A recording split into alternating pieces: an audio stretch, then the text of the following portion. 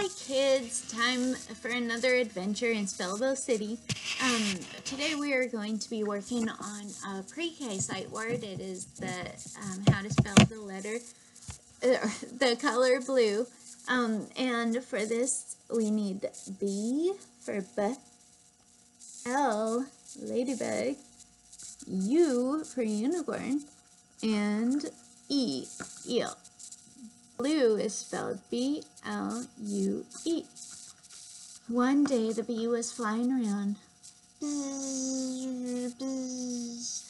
Oh, I wish I had some of my favorite flowers here, but I guess I'll just settle on this one because um, they don't have any of my favorite colors. Hey, I heard you talking. What's your favorite color? Oh, my favorite color is blue. I think those flowers taste the best. They have really yummy nectar. Oh, well, I don't really eat nectar, but um, I like how blue flowers look.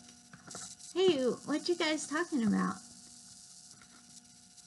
Um, we're talking about blue flowers, actually, but I don't think there's any in Spellable City. Well, maybe one day we can find one and get one. I've seen them in other lands. Hey guys, what you doing? We are talking about blue and blue flowers. Well, my favorite color is green because green has two E's in it, but blue only has one. Well, every letter, every word is important. And blue is a perfect color for flowers. And that is how you spell blue. B L U E spells blue.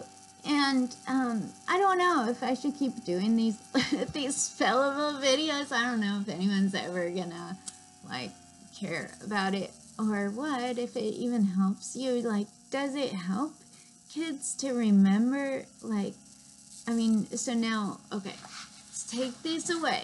So what animals what animals spell the word blue? We got a bee we got a ladybug we got a unicorn and an eel so now you know if you just think of what those cells start with for their first letter, it's B-L-U-E. Um, but I don't know. Maybe I should quit doing these videos every, um, every Wednesday. But, I mean, I don't know. Maybe not. Alright, that's enough for now. Hope you enjoy spelling. I don't know. comment and tell me if anyone's ever even watching these things, if it even matters. Okay, bye.